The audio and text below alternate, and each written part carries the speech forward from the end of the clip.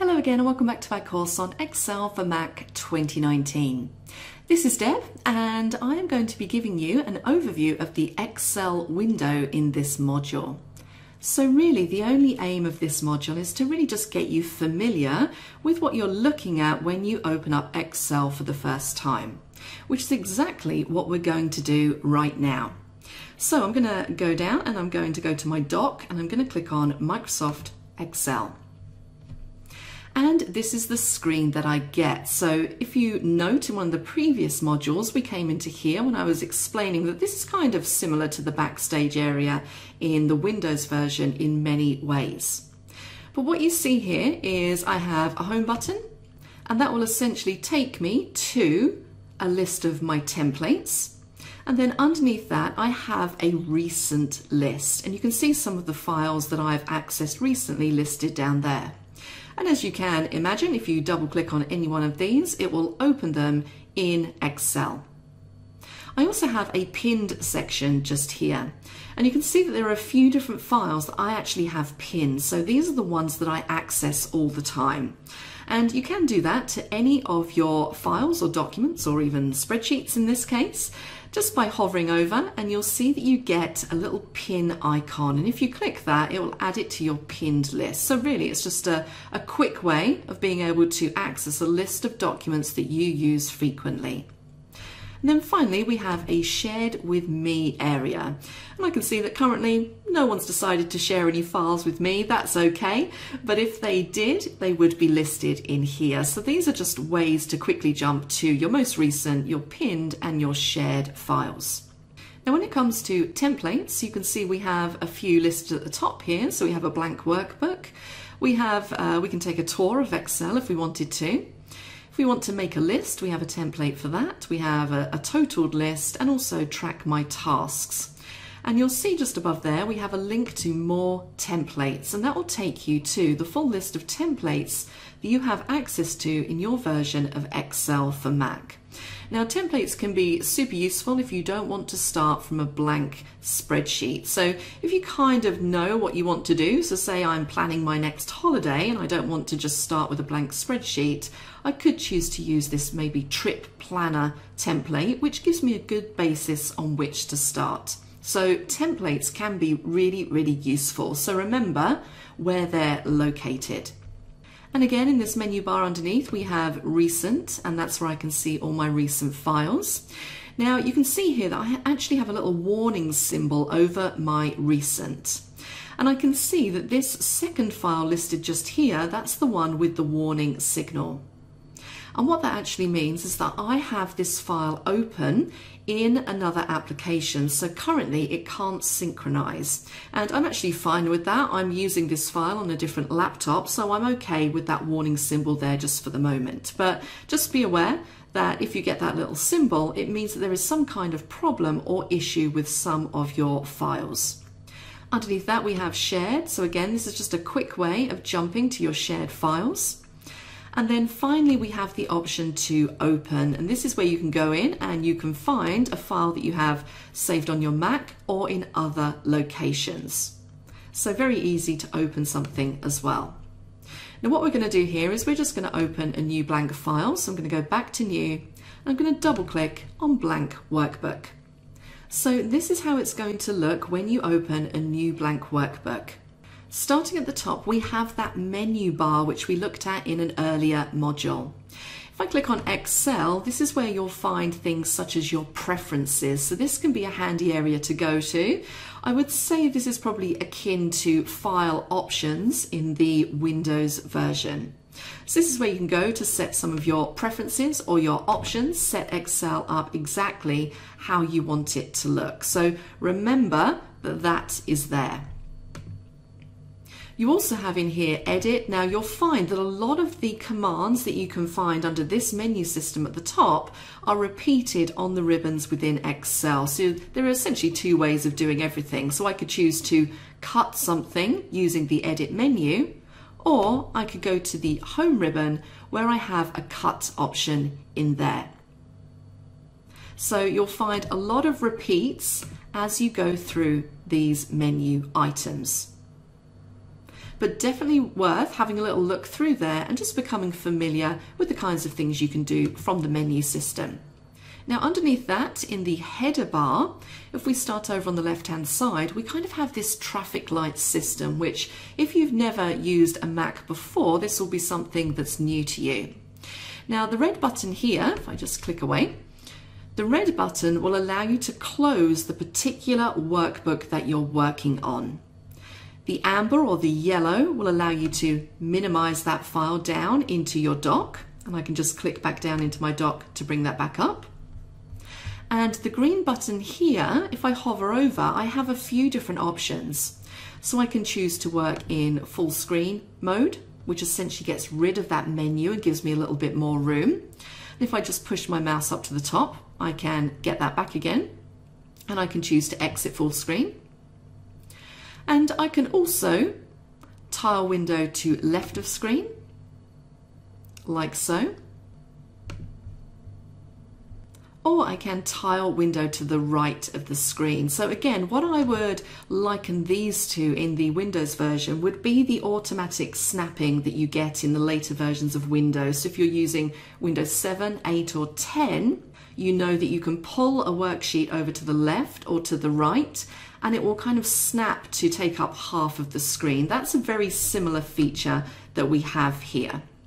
What we have next on this heading bar is auto save. So mine's currently set to off because I'm not saving to the cloud. But if you do want to save to the cloud, you can just slide that slider across to turn that on. And then we have the quick access toolbar.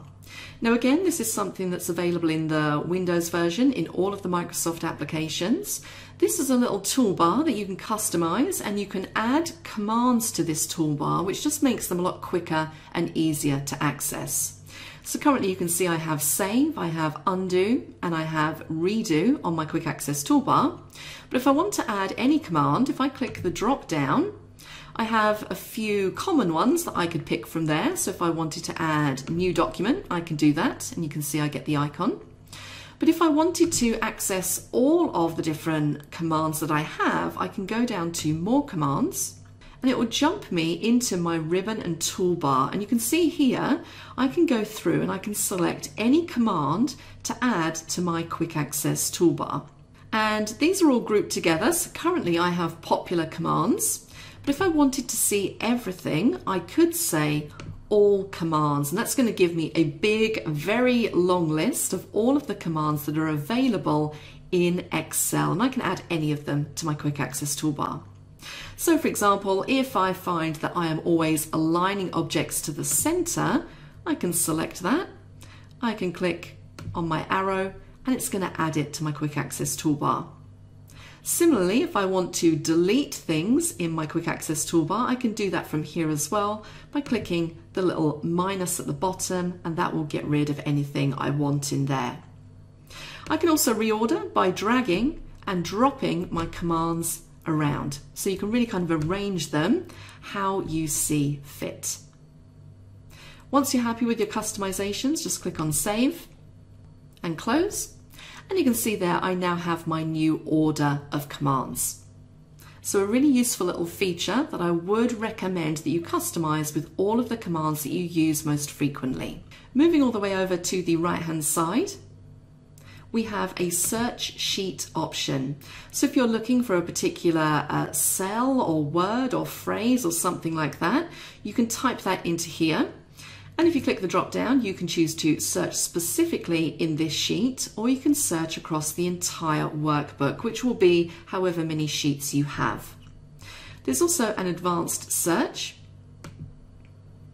and if you click on there, you can really go in and get a little bit granular as to exactly what you're searching for. And you'll also find underneath here, you have a replace. So that's kind of a quick way of getting to the find and replace options in Excel. So remember you have that available at the top also. And then finally, underneath this little smiley face, if we click that, that's basically to give feedback to Microsoft. So you can tell them what you like, or you can tell them something that you're not particularly happy with. Now, directly underneath this header bar, we have our ribbon tabs. So home, insert draw, page layout, so on and so forth. Now again, you should be reasonably familiar with this structure if you're coming from a Windows environment. What you'll find is that on each of these tabs you have commands and those commands in general are grouped together by type. So I can see here in this first little group I have paste, cut, copy and format painter.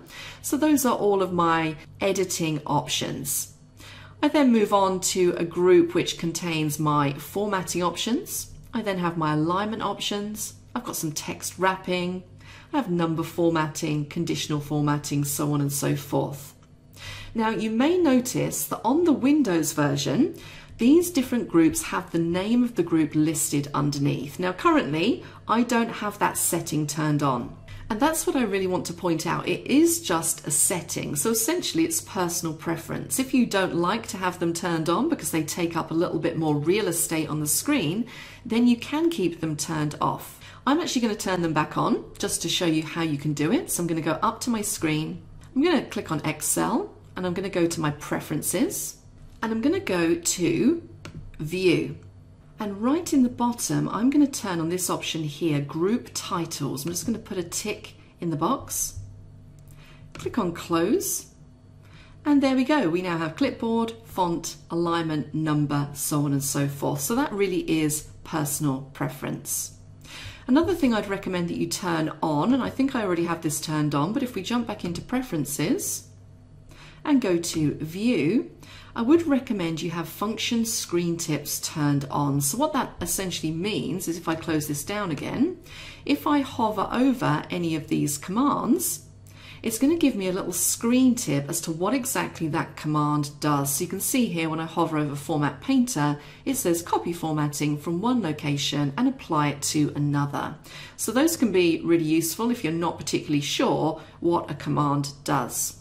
Now again, I would recommend that even if you are familiar with the Windows version, you do just very quickly run through these different tabs and just take a look at exactly what options you have on these different ribbons. You should find that they're fairly similar to what you're used to. Underneath the ribbons, we have our name box, and this is standard across Excel in either the Mac or the PC version. I'm going to talk about the name box a lot more in later modules. We then have the formula bar, so as you would expect, this is where you can type in or edit your formulas. We then have the main spreadsheet underneath. So this is where you're going to start entering in your numbers or your text or whatever it is that you're doing. Now, every Excel spreadsheet is a grid structure made up of columns and of rows. And the columns are alphabetized and the rows are numerical. And if you're not familiar with Excel, the way that it works is that if I was referring to this particular cell that I have highlighted, I would refer to it as cell D 8 and you can see that confirmed in that name box D8. So cell references, again, if you're not familiar with them, is a really important basic concept when you're working with Excel in any version. And as I said, more about that in later modules. Moving down to the bottom, this is where we have our worksheet tabs. So currently, because I've just created this, I just have one sheet that says sheet one.